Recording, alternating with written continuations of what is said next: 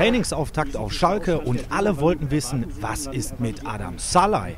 Fangen wir mit einem anderen Namen an, oder? Ist vielleicht besser. Gewinne ich Zeit.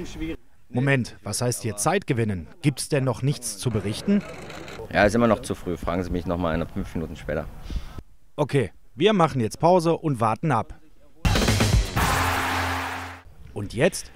Sie haben jetzt mehrfach auf Ihr Handy geschaut, während Sie mit der Presse gesprochen haben, rechnen also minütlich mit der äh, endgültigen Klärung im Fall Scholler? Ich glaube, dass wir heute ähm, eine klare Richtung bekommen und ähm, hoffe auch, dass wir im Laufe des Tages äh, dann endgültig äh, das, das, abschließen können. Halt. Aber es bleibt dabei, es ist äh, noch nicht äh, äh, durch. Wir sind, wie gesagt, einen großen Schritt weiter und ähm, das muss man aber dann jetzt noch mal abwarten. Doch dann kam der Anruf und Horst Held hatte gute Nachrichten. Erst kam der Anruf, dann die Sonne raus. Was gibt's Neues? ähm, ja, also ich kann vermelden, dass äh, Adam Chalai ähm, gerade beim Medizincheck ist. Wir haben jetzt Einigung äh, erzielt mit Mainz 05. Wir tauschen die Verträge aus, wir prüfen die und ich hoffe, dass wir und gehe davon aus, dass wir heute auch die jeweiligen Unterschriften untersetzen.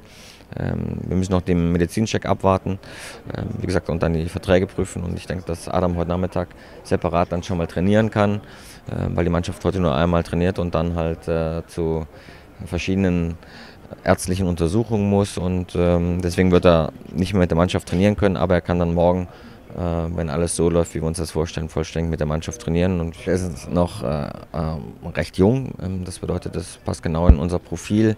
Äh, dazu kommt, dass er halt einfach einen sauberen Charakter hat. Er hat eine außerordentlich gute Mentalität. Er ist gierig, er ist bissig, er will was erreichen. Er hat eine gute Quote ähm, im letzten Jahr gehabt und in den Jahren davor halt auch. Äh, er ist ein Stoßstürmer. Äh, wir haben erlebt mit Klaas-Jan, als er verletzt gewesen ist, sieben, acht Spiele lang, dass wir das nicht adäquat ersetzen konnten. Allerdings tanzen wir auf mehreren Hochzeiten und wollen in, in jedem Wettbewerb so weit wie möglich kommen und, und so gut wie möglich präsentieren. Und von daher brauchen wir halt auch in der Breite äh, gute Qualität.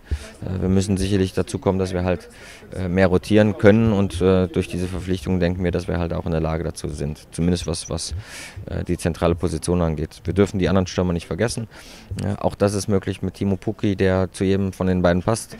Ähm, und Philipp Hoffmann, den wir auch unter Vertrag haben, sind wir halt auf, auf dieser vorderen Position jetzt, denke ich, ganz gut besetzt. Richtig Qualität dazu bekommen wenn man ihn in den letzten Jahren gesehen hat, äh, was er für Leistungen abgerufen hat. Von dem her sind wir sehr, sehr froh, dass er bei uns ist. Und das sind die gierigen Augen, von denen Horst Held gesprochen hat. Die von Adam Salai. Mit im Gepäck die schöne Geschichte, dass er gegen Dortmund sein erstes Bundesligator zum 1-0-Sieg geschossen hat und jede Menge Allrounder-Qualitäten. Dass beide zusammenspielen können, Hünteler und Scholloy, ist äh, eher unwahrscheinlich, weil sie sich zu ähnlich sind? Nein, äh, ist nicht unwahrscheinlich, kann auch äh, funktionieren. Ähm, beide haben natürlich ihre Stärken in der Zentralen, das ist ganz klar. Ähm, nichtsdestotrotz hat Adam in Mainz äh, sogar schon mal über Außen gespielt. Er hat als Hängespitze gespielt, der ist also überhaupt gar kein Problem, sowohl für Klaas Jan als auch für Adam äh, zusammenzuspielen halt und zu was dann der Trainer ähm, tendieren wird, äh, das werden wir im Laufe der Vorbereitung sehen. Okay, das haben wir schon einmal geklärt, also kann es jetzt endlich losgehen. Und es heißt Trainingsauftakt auf Schalke. Natürlich mit alten Bekannten, aber auch neuen Gesichtern. Guten Morgen, Felipe Santana. Morgen, morgen, morgen. Der Verteidiger ist da, Adam Salai auch. Wie sieht es denn mit den anderen Spekulationen und Vertragsverhandlungen aus? Gibt es da Vollzugsmeldungen?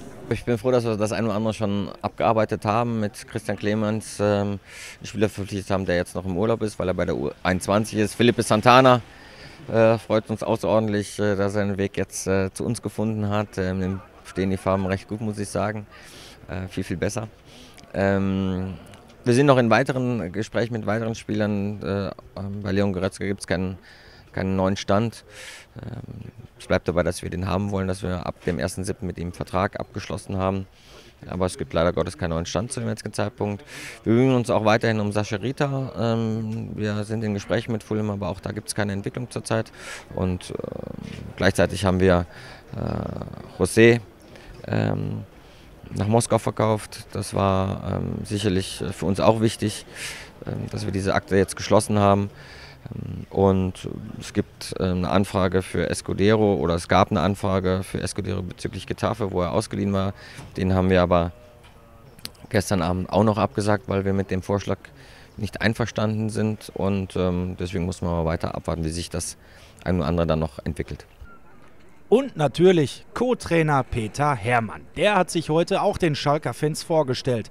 Der 61-Jährige wird an der Seite von Assistent Sven Hübscher und vor allem Cheftrainer Jens Keller eine große Rolle spielen. Ich glaube, Peter ist, ist äh, sehr, sehr wichtig für uns, weil, weil er eine Menge Erfahrung mit sich bringt. Er hat im letzten Jahr gezeigt, äh, wie man, wie man äh, Titel einfahren kann. Es geht nicht darum, dass wir ihn vielleicht haben, nur um der Titel wegen, aber er hat einfach eine, eine große Erfahrung, er hat eine äh, außerordentlich gute Mentalität, er weiß, äh, dass er Co-Trainer ist und sieht sich auch als, als Co-Trainer, er sieht sich nicht als Cheftrainer und trotz alledem ist er sehr aktiv, was die Trainingseinheit angeht. Er bringt äh, seine Meinung mit rein, das ist alles sehr, sehr wichtig, das brauchen wir. Jens hat seine Sache und macht seine Sache einfach sehr, sehr hervorragend. Nichtsdestotrotz äh, ist er noch und bleibt ein junger Trainer und, und einen erfahrenen Trainer an seiner Seite. Das ist äh, sicherlich äh, dann halt auch hilfreich, ähm, weil man auf der einen Seite das junge, frische, moderne hat, auf der anderen Seite die Gelassenheit, die Ruhe, die Erfahrung und die Kombination ist sicherlich sehr interessant und hilfreich für uns. Neben der Erfahrung von Peter Hermann kann man das vielleicht so zusammenfassen. Jupp Heynckes hat im letzten Jahr äh, zwischen den Stars moderiert und Peter Hermann hat den neuen Bayern-Stil trainiert. Ich war zu selten, ich war eigentlich nie beim Bayern-Training, nur in Katar. Äh, habe ich mir das eine oder andere Training angeschaut und äh, Peter ist ein äh, sehr aktiver Co-Trainer, der nicht irgendwie nur so rumsteht, sondern der auch gerne halt äh, äh, im Training Anweisungen gibt und im Training ähm, ähm, auch, auch seine, seine Eindrücke mit einbringt und seine Ideen mit einbringt. Und das ist auch wichtig und gut für uns. Und äh, ob er das gesamte Training geleitet hat äh, oder immer nur verantwortlich gewesen ist bei Bayern, das weiß ich nicht. Äh, aber ich, die haben gut harmoniert und ich weiß, bin mir sicher, dass Peter mit Jens und dem übrigen Trainerteam auch hervorragend harmonieren wird. Profis wie Julian Draxler und Benedikt Hövedes, die wegen der Nationalmannschaftsreise noch ein paar Tage länger Urlaub hatten, oder Michel Bastos, der erst heute Mittag in das Training einsteigt, fehlten zum Auftakt. Dafür waren junge, gierige Nachwuchsspieler wie Philipp Max oder René Klingenburg mit im Team. Man sieht vor allem die jungen Spieler auch. Äh, das ist ja wichtig, wie sie sich hier präsentieren, wie sie sich geben. Und von dem her sind es schon wichtige Eindrücke. das sind Spieler für die Zukunft oder nahe Zukunft vielleicht auch, der ein oder andere. Und deshalb ist es wichtig, dass die jetzt hier die Vorbereitung bzw. auch das Trainingslager mitmachen. Der Auftakt ist gelungen. Jetzt gilt es in den nächsten Wochen weiter hart zu arbeiten, um unsere Ziele zu erreichen. Ja, das erste wichtige Ziel ist natürlich ein guter Start zu haben. Und wir fangen mit dem Pokalspiel an. Ich glaube, dass wir gute Chancen haben, da weiterzukommen. Dann fangen wir mit dem Heimspiel an gegen den HSV. Ähm, Traditionsmannschaft, da freuen wir uns drauf. Ähm, die werden sicherlich aber auch eine gute Mannschaft haben und es geht gleich in die Vollen. Dann haben wir zwei Auswärtsspiele. Ähm, kein Gegner ist leicht, das haben wir letztes Jahr erlebt und das werden wir dieses Jahr auch wieder erleben. Wir müssen uns in jedem Spiel ähm, anstrengen, dass das positiv läuft. Und ähm, dann kommt irgendwann ähm, das ganz, ganz erste große wichtige Ziel, nämlich die Qualifikationsspiele für die Champions League Gruppenphase. Da wissen wir noch nicht, gegen wen wir äh, spielen werden halt. Da kommt irgendwann die Auslosung und das ist natürlich ein sehr, sehr großes Ziel von uns, in die Gruppenphase hineinzukommen. Ähm, das wäre aus vielerlei Hinsicht sehr erfreulich und das müssen wir und wollen wir gut gestalten. Mit welchen Erwartungen gehen Sie jetzt in die nächsten Wochen? Ja, dass alle erstmal fit bleiben, dass wir ein gutes Trainingsprogramm äh, durchziehen können und vor allem, dass halt die Spieler, die im Moment noch nicht da sind, äh, dass die gesund kommen, die ganzen Länder oder die ganzen Nationalspieler und dass wir dann ab 8.7. so richtig äh, voll einsteigen können. Und äh, da freue ich mich einfach, dass wir jetzt eine gewisse Zeit haben, auch zu trainieren. Das hatten wir im Winter nicht. Es bleibt festzuhalten, Adam Salai ist da, Felipe Santana sieht gut aus in Blau und Weiß und der Grundstein für eine gute Schalker Saison wird auch gelegt.